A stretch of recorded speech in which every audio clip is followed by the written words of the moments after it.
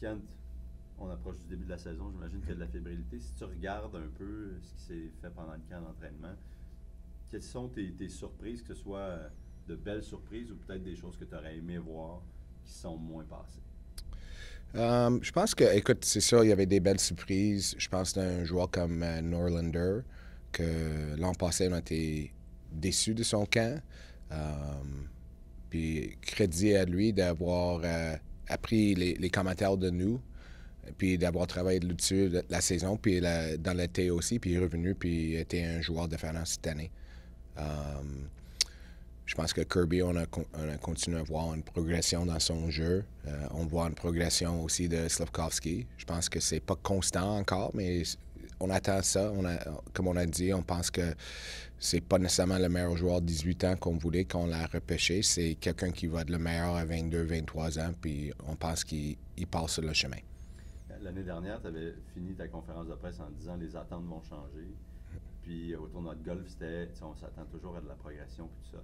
Peut-être que ça avait été mal compris par les partisans. Mm -hmm. J'imagine que peut-être la chance de l'expliquer un peu. Quand tu disais les attentes vont changer, j'imagine c'était on veut voir euh, veut voir nos jeunes joueurs prendre un pas de l'avant, par exemple, ou qu'est-ce que ça voulait dire? Oui, c'est en fait ça. C'est on veut voir une progression de, des joueurs.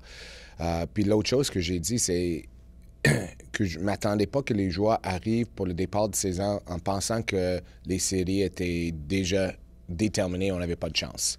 Les joueurs de hockey sont des athlètes professionnels, sont rendus à cet niveau à cause de leur, à cause de plusieurs choses, mais une qui partagent la plupart ensemble, c'est qu'ils sont compétitifs. Alors, je voulais qu'ils donnent leur maximum pour le faire, qu'ils le fassent euh, ou fassent pas. Comme j'ai déjà dit aussi, c'est que on, est conscient que de faire les séries, c'est euh, ça, prendra un grand succès de saison. Euh, alors, je ne dirais pas que s'ils ne font pas les séries, que c'est un échec, mais plutôt qu'on veut qu'ils poussent puis qu'ils prennent la prochaine euh, étape de devenir une bonne équipe. J'ai l'impression que vous êtes un peu dans la situation où les Red Wings de Detroit l'année dernière, où vous voulez vous éloigner de la cave, mais vous n'êtes pas en position de pouvoir promettre une présence en séries éliminatoires non plus. Puis Eisenman, au début de la saison passée, avait dit Nous, si on peut réduire notre nombre de nos shots against, nos goals against, nos mm -hmm. chances against, euh, améliorer nos unités spéciales, ces éléments-là vont se transférer en plus de victoires, donc ça va être du succès. Vous, est-ce que vous avez des, quelle cible vous avez plus techniquement pour dire bon, le progrès, on va le mesurer comme ça? Mais le progrès, tous les, les aspects que, Steve, que, tu viens de parler de Steve, c'était des aspects uniquement de l'équipe.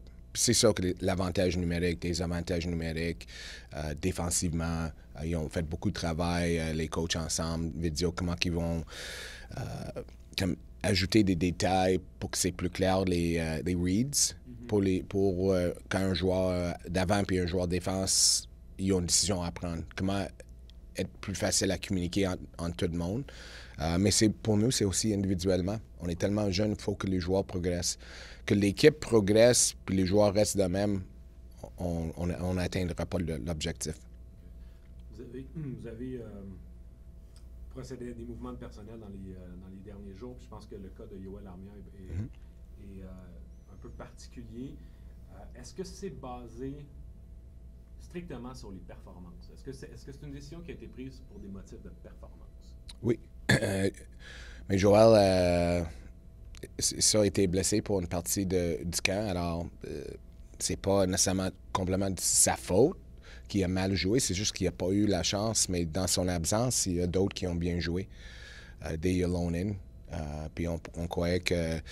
On a parlé au coach, puis on, leur a demandé c'était quoi leur euh, alignement pour le match de demain contre Toronto. Puis Joel n'était pas parmi cet alignement. Euh, avec 23 joueurs sur le roster, euh, puis le fait qu'on voulait garder trois gardiens, ça fait comme quoi qu'on pouvait juste garder 14, 13 joueurs d'avant. Ça envoie, ça envoie un message fort quand même à ton équipe, euh, voir un vétéran comme ça. Oui. Mais écoute, d'un côté, euh,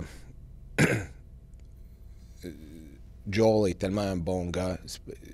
On doit être conscient aussi de, de, de comment ça tombe pour lui. Puis c'est pas facile, mais je, je, je dois dire qu'il était complètement professionnel. dans tout. Il est même venu hier pour s'entraîner, même s'il n'était pas permis de participer aux pratiques.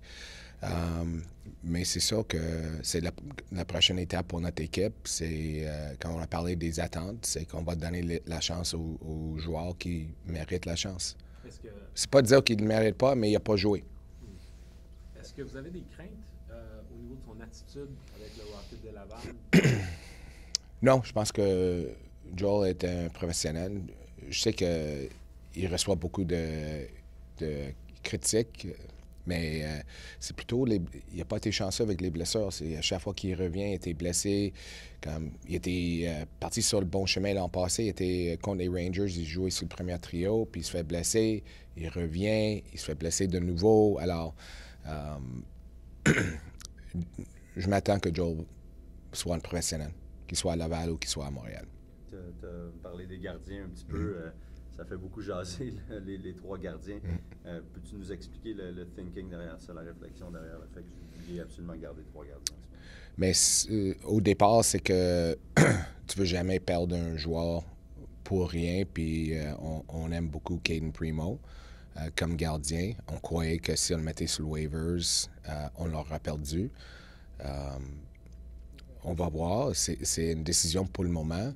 on ne pense pas d'avoir euh, trois gardiens pour 82 matchs de la saison, mais on ne sait pas qu'est-ce qui arrive euh, d'une semaine à l'autre avec les blessures puis d'autres choses. Alors, c'est un processus dynamique. Quand tu dis d'autres choses, c'est quoi blessure ou transaction? Est-ce que c'est les deux façons que ça va se régler? Ou, bien, euh, oui, c'est probablement une des deux façons.